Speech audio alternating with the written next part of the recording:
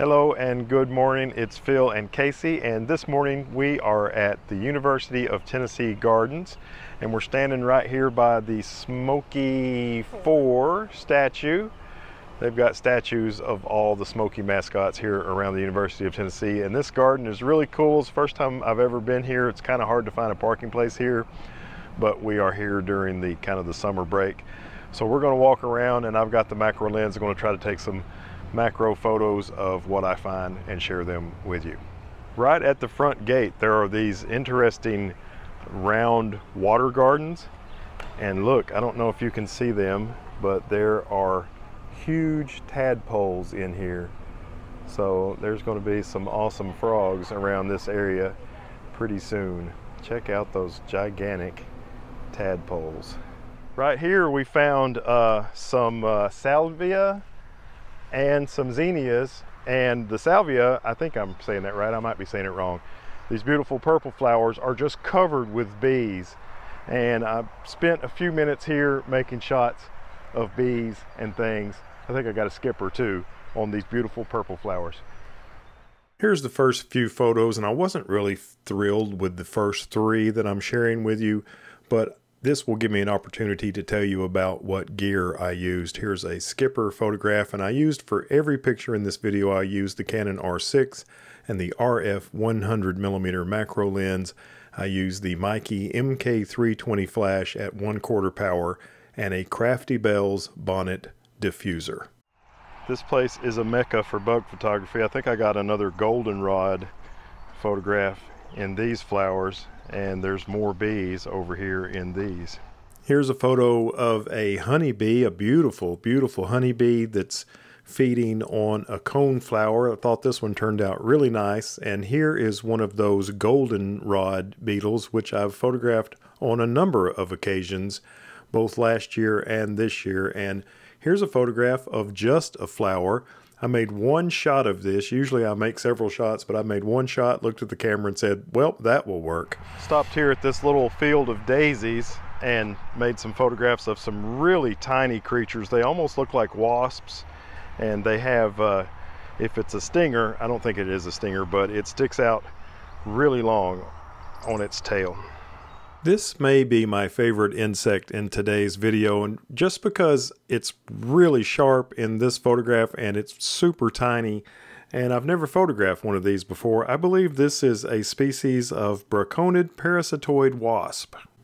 Here is a beautiful little fly that was on one of those daisies. I love the hairiness of these species. And here is another goldenrod soldier beetle and I think this is the sharper of the two photographs, but I went ahead and shared this one as well. Even though it's not quite as sharp, I liked that it was just about to take off, so it has quite a different pose from usual. And here is one of the daisies in the foreground with lots of daisies bokehfied in the background and a dark background too. I thought it turned out cool.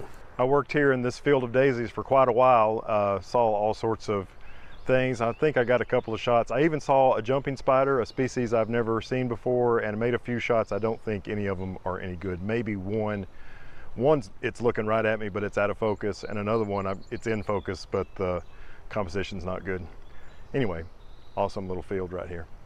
Now we know why there are so many of these goldenrod soldier beetles. Here they are getting busy just right out in the open in front of everybody. And here is an eastern calligrapher bee. I just love these little bees. I think they're really beautiful. And in this shot, you can see just how tiny it is. And here is one more shot of the little parasitoid wasp. And on this one, it has its tail in the flower and its antenna in the flower as well. You almost can't see this tiny, tiny little creature that's on the center of a brown-eyed Susan, but I think it's a weevil of some sort, and here is probably my favorite photograph of the entire video, and it sums up the day so well. A beautiful honeybee on a beautiful flower. We did a Google lookup on this plant right here, and we think it's called a rattlesnake master. And there's a few of them planted in this area and they are a mecca for bees and things. I mean, so many different varieties. I took as many as I could. This is another one of my favorite images of the day and I love to present bugs upside down when I photographed them upside down. This is some sort of bee or hornet, and it was absolutely beautiful and kind of unique. This is one of those milkweed bugs. I photographed some of these last week when I was at Harrison Bay State Park, and they're really beautiful. We've made our way around most of the garden and we came to an area where it looks like they booked this place for weddings sometimes. Got a little uh, area up there to say your vows and uh, dual waterfalls that go into koi ponds and a nice uh, open area here to put seats I guess and a nice gazebo over here with a covered area for Miss Casey. Here is a beautiful wasp. I love the colors on this wasp and I like the flower that it's on, how it kind of matches its color scheme and the beautiful background. And here is another honeybee. This is probably one of my least favorite photos in the video, but Heather liked it, so I went ahead and shared it with you.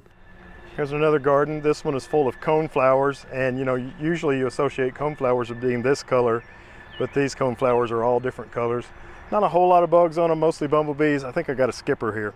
I believe this is a butterfly of some sort. When I first saw it, I thought it was a moth, but I believe it's a butterfly of some sort. I could be mistaken, and I'm definitely sure that this little cutie is a skipper. Skippers are just beautiful to photograph and so cute to look at. All right, thanks for joining us from here at UT Gardens for a little uh, macro photography festival. This place is awesome. I highly recommend it and it's open seven days a week from sunrise to sunset. There's only about 10 parking places and you can only stay in them for two hours. So you got to watch out for that. What's it like going to school here? Pretty cool. Pretty cool. Bye-bye. Thanks for watching.